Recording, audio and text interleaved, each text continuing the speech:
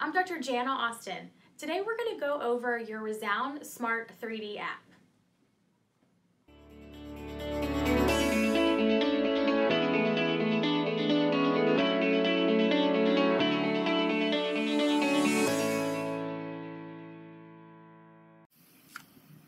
The first step in using your Resound 3D app is to download the app itself. You'll want to go to your App Store on your Apple phone and then at the bottom right, once you're in the App Store, you're going to click on the search button here. That search is going to allow you to come to the top of your screen and type in Resound Smart 3D. From there, when you start to search, you'll notice that your Resound Smart 3D app loads. And notice we have a little cloud here, meaning that we've never downloaded the app before. So we want to come over, click on our cloud, and that's going to start the download. After you've downloaded the app, you can now come to the Open button. Go ahead and select Open, and it will launch your app for you. First, you'll come to the Welcome screen, and we want to go ahead and say Get Started. That way we can start using our devices. Notice you have your terms and conditions. If you'd like to scroll through and read all of them, you can, or you can select this button here at the bottom. Go ahead and tap the gray button, and then you can go ahead and select Agree that gray button will bring you down to the bottom.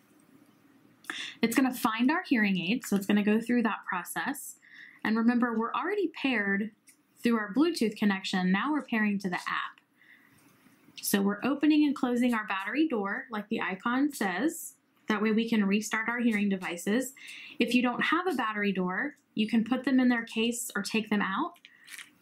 Or you can press and hold the button on the back for five to eight seconds when they turn off, you'll see that the light is going to flash three times. And then when you press and hold again to turn the devices back on, it will turn a green, a green steady light. So now we're connected and we're going to go ahead and we're going to say continue. This way we can actually start to use our app. Notice it asks if we would like to get notifications. I always say allow here, just so if we're in a certain situation and it sends us a notification, then that way we can receive that, that message. At this point, notice we start in our all-around program. That's your everyday program that you're always going to start your hearing devices in. If you'd like to change the volume, the slider to do that is here. If you'd like to change between right and left, meaning you're not changing the volume together, you want to, to do them separately. You want to change the right ear or possibly the left ear, not together. You're going to hit these two lines here. That's going to separate so that you can adjust the right and left. If you'd like to mute one of the devices, you can by selecting the speaker icon here. And then to bring them back together so that they're acting as a pair again, we're going to go ahead and select the that bottom line. Now we're changing each device together as a, as a team. If you'd like to mute them in this way, you certainly can, and it's going to be this, this icon here. One of the things I like to share on this particular screen, notice you have these two, two buttons here. And this way, if you're in a certain situation and you feel like, you know, I'd like to turn my hearing devices down quite considerably, but I don't want to use the slider bar, you can just reach up and press this noise filter button here. And when I turn it on, it's going to turn that, that di different red color, letting you know that, the, that it's active. Whenever you press that, the noise filter button, it's actually turning the device down quite a bit. So even though it says noise, it's not reducing the background noise, it's actually turning the overall hearing device down.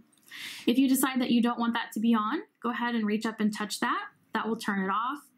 If you're ever in a situation where you feel like you would like more clarity, you can go ahead and reach up and press that speech clarity button. And what that's going to do for you, it actually gives you a little bit more of the higher frequency information in the environment that you're in and it turns down some of those bass tones for you. So again, it really brings out the brightness and sharpness of speech. To turn that off, same, we're just gonna reach up and touch the button. If you'd like to fine tune even more from this particular screen, you can do so by touching the sound enhancer icon here.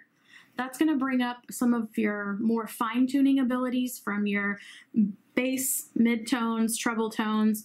This way you can, can adjust those as needed. So if you're in a certain situation and you feel like there is a little bit more background noise than you would like, you want to fine tune instead of using that that hot button that was on the other screen, you can come up and grab this icon here and notice I can actually change the shape of my hearing aid response by changing the frequency response. And you can practice with this on your own to see how it really changes the sound. By coming back to the midline here, where it's at zero, think of that kind of as the, the middle ground of the hearing aid. Those are the settings that we have programmed based on your hearing test results. If you've made a lot of changes here and you're not quite sure where to, where to go from there, but you want to reset it, obviously you can come to the reset button and that's going to make those that full complete reset for you. From here, if you feel like you would like to increase your noise reduction or decrease your noise reduction, this is a little bit self-explanatory, but you're just gonna grab this icon here, slide it over, and notice the further we go, we're changing to lessen and even turn off our noise reduction. Now we live in a pretty noisy world, so it's probably not gonna be very often that you're turning that noise reduction off. But when it's all the way to the right, it is automatic for you. If you're outside and you have different you know, needs for, for wind noise reduction, you can adjust those at the bottom by doing the same thing. If you're in a certain situation and you find that you're commonly adjusting the program settings for it and you're in it pretty routinely, you can actually add your new settings as you're putting them in as a favorite. That way you can save those settings and call it, you know, what you like. If it's a certain restaurant that you're in or a certain environment that you're in, you can certainly do that. Now, to get out of this the screen, you're going to come to the top here, top right corner where the X is. Let me see if I can select that here. And notice now we're back in our kind of everyday, all around program, back in our main settings. Now, some of your devices may be programmed to have multiple programs, and if so, to get to that additional program, you're just going to reach up and then slide. When you grab it, you're going to slide over so that way you can see your additional programs as they come through. You can see my icon at the top also changed as well. Now that we're in this this additional program, notice we have a little bit more of our, our hot buttons as we as we call them. So whenever we see that there's the noise filter, keep in mind that always turns the overall volume of the hearing aid down. Speech focus in this particular in this particular program same, it's going to give us a little bit less of those bass tones to try and reduce some of that noise for us and really focus on the clarity. Now here everyone is a little bit different. Instead of changing certain certain you know, mid, bass, treble, instead of changing all of the frequencies or one of the frequencies, excuse me, it's going to actually give additional volume to all of the sounds coming into the hearing aid. So think of that as a quick way to increase the volume on your hearing devices. Now, the volume here works the same way, that volume slider that we talked about. If I come to Sound Enhancer and I open this, notice you now have one additional icon here that you can actually reach through and change your speech focus. But everything here works the same as it did in that first program when we're in regards to noise reduction and wind noise reduction. So keep that in mind as you're using the devices. Now, depending on the level of technology that you have and also what programs are programmed into the hearing device, some of these programs may look a little bit different to you. And if that's the case, I would recommend giving us a call so that we can, can help you with your particular devices. So I'm just gonna click the top button here and that way we can come back to our main main screen and then we'll slide over and we'll actually come back to that all around program this way you can see where we are because I wanted to go through this bottom row here of information for you. So first I wanted to show you what the status icon is. I'm gonna click on that.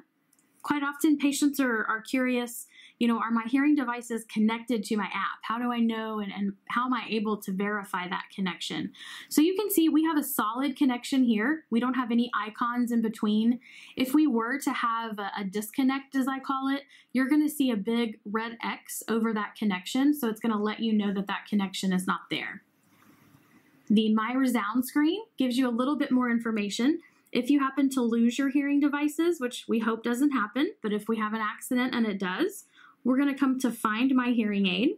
I'm going to select find my hearing aid. And I'm going to say okay to the message so I can see the app. And notice, because I'm doing the video here in our office, both of our hearing devices are sitting right right in our office. So this is a really nice feature. If at any point you change your location services, I would let the Resound app know that you're allowing it to use your GPS locator, just so if you lose your hearing devices, you can see where they are. I'm going to go ahead and hit the X on here just so we can go back. If you'd like a little bit more demonstration on the app, you can certainly do that here in your learning learning icons.